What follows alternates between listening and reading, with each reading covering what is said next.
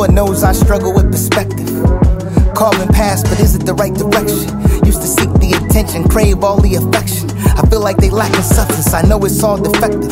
Lately been uninspired, staring at my reflection. Every loss feel like a sentence and not a lesson. The world of men just got me worried about these possessions. Social media want me over attentive, I barely paid attention, but it's worth the mentions. Couple niggas I go to the grave for. Honestly, don't think it's vice versa when the grave calls. But who's keeping score? Yeah, I got a couple folks who out of sight and out of mind you. Till you remind them they forget the reason they're behind you. You can do the most from the heart without blinking an eye. And yes, some folks will turn their back when they feel it's time. Loyalty's an expectation, or just not no value in mind. Either way, I'm sure it'll be fine.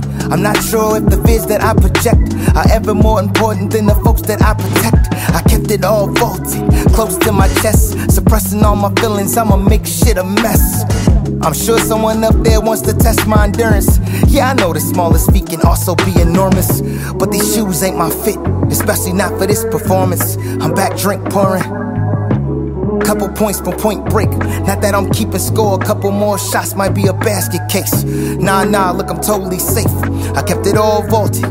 Make sure I remind them of it once I'm back vaulted. Just gotta get this shit above me. But look, I'm back. Listen.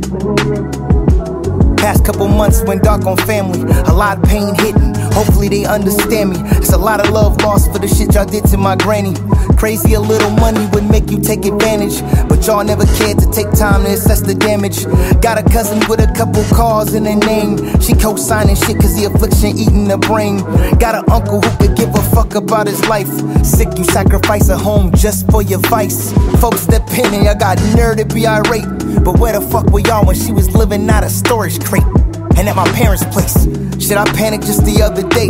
It was a double homicide, right outside my parents' space. At the time, she was sick breaking. I mean, she's good, but they had mom sweeping up the shell casings. I hope this here rests on your consciousness, and your kids do it to you as a consequence. I'm sorry, Lord, I know I'm supposed to be praying for balance, but this cold shit on my heart got me speaking this malice. I'm not sure if the fears that I project are ever more important than the folks that I protect. I kept it all vaulted, close to my chest, suppressing all my feelings. I done made shit a mess. Couple points for point break. Now I ain't keeping score. A couple more shots might be a basket case. Totally safe. Keep it all vaulted. Make sure I remind them of it once I'm back vaulted.